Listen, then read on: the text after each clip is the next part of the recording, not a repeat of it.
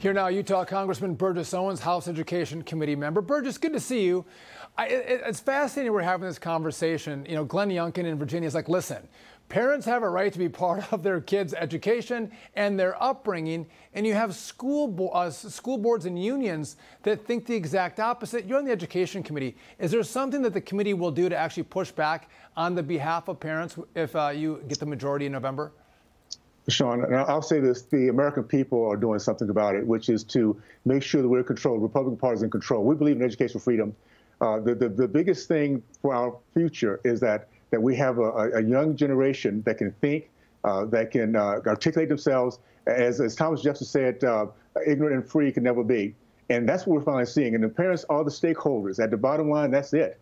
And the fact that we've gotten to the point now where state, uh, state governor, government believes or, or federal government believes that they, that they own, they control the kids. It says a lot about about what we've been up to up, up against for quite a while. So we're getting it back. I think the COVID was a wake up call for all of us. We now see what was behind the curtains, and we're not standing for it. Uh, we're going to make sure we get our kids free enough to think, to be successful, to to prosper, and that can only happen in a country that's free. You know, I think it's uh, important to note that there's so many parents uh, across the country that understand that their child's pathway to the middle class, their pathway to success is a good education, knowing how to read, math, science, English. And here in our school systems, you have a focus on equity or CRT or transgenderism, where we're failing the very basics of education and our kids' test scores are going down. No question. And this has been a process for quite a while. If you go back to 2017, you had a study that came out uh, for the state of California that 75% of the black boys in the state of California could not read and write.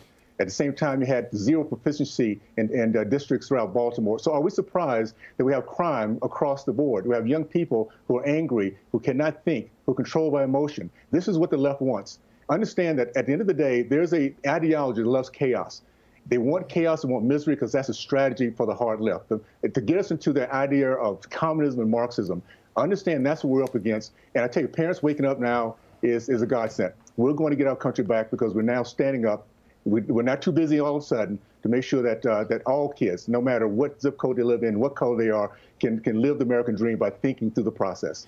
And Burgess, I think it's going to be so hard to change the school systems. I think the unions and a lot of the teachers, the young ones especially, have come out of these woke universities and want to bring those woke ideas now into the classroom. I think it's going to be really hard to change that because that's just, you know, who these teachers are. I think it's so important that we give parents a right. If you don't like your school, if they're not teaching your kids the basics, they don't match your values, you're able to take them out and take them to a different school. I think the plan out of out of Arizona to say every every every parent gets a voucher for their children to pick a school of their choice that will actually educate their kids and match their values. Sean, you just nailed it. Uh, these guys are tenacious. They're not going to stop. Uh, it was it was Horace Mann back in uh, who actually died uh, 20 years before um, Alexander Bell said, "Hello, Watson." Uh, the, that that telephone has now turned into our our, our remarkable system that we have now with the, the iPhone. That education system, 170 years old, is the same. You sit in a row, you look at the teacher, you go up with the bell. We need to disrupt this system. We need to take away from these, these adults who care more about, these labor unions care more about adults and their progress than our children. We're in the process of doing that through meritocracy.